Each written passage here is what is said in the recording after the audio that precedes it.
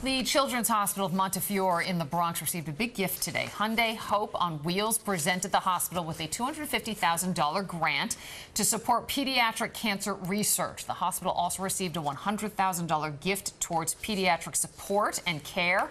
The hospital won the grant after a competitive nationwide peer-reviewed process following the check presentation, the handprint ceremony. Children impacted by pediatric cancer dipped their hands in paint and then placed their handprints on a white Hyundai vehicle to commemorate their stories of hope.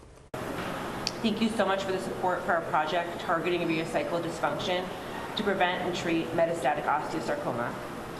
Osteosarcoma is the most common primary malignant bone tumor in children and young adults. Survival rates for metastatic osteosarcoma have plateaued. We urgently need a better understanding of the biology of osteosarcoma in order to improve survival rates for our patients. The grant presented today is part of a $26 million commitment from the Hyundai Hope on Wheels campaign to honor its 26th year of working to end childhood cancer.